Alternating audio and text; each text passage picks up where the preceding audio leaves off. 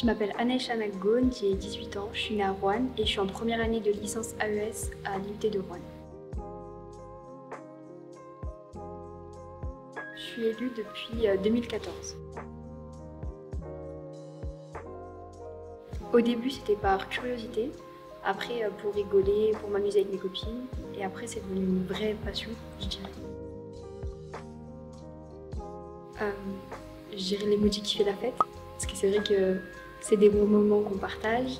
Un peu celui de l'école, s'il y en a un, parce que c'est vrai que les moments où on travaille euh, sur nos projets, qu'on est vraiment concentré, on est un petit peu, on est un petit peu obligé de vraiment travailler comme à l'école. Et en troisième emoji, euh, je dirais les, cakes, enfin les petits gâteaux qu'on a en fin de séance à chaque fois. Le plus cool, bah, je dirais euh, tout ce qui est organisation du RJT, parce que c'est les projets euh, sur lesquels on rigole le plus, que ce soit avec le public ou même entre nous derrière. C'est vrai que j'ai vu que dans mon conseil de quartier, il n'y avait pas vraiment de, de jeunes. Et je me suis dit, c'est vrai que c'est dommage si un jour euh, il n'y a plus personne pour reprendre le flambeau. Euh. donc autant commencer à m'investir euh, pendant qu'il y a du monde, comme ça je commence à apprendre avec eux et après, s'il y a d'autres jeunes, bah, je leur montrerai.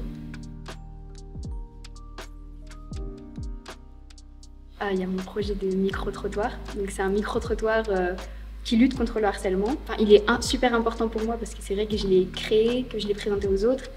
Et on se sert justement des jeunes de Rouen pour parler de leur expérience avec le harcèlement, avec tout ce qui va être la sensibilisation que l'école peut mettre en place. Et bah les cours. Je vais encore comme tout le monde, je fais mes devoirs et après euh, les mercredis après-midi j'essaye de coordonner bah, du coup entre la fac et le conseil. Des fois c'est un petit peu juste euh, au niveau timing. Et après c'est vrai qu'il y a des événements euh, un peu plus particuliers, par exemple tout ce qui va être les commémorations le samedi, ou parfois, bah, par exemple, j'avais eu le congrès des maires. Donc là, c'était en semaine qu'il a fallu que je loupe un peu les cours. Mais sinon, j'arrive à m'organiser, donc ça va. Bah, S'ils peuvent, de rentrer au conseil municipal des jeunes, si on, si on peut les accueillir, parce que c'est quand même super intéressant.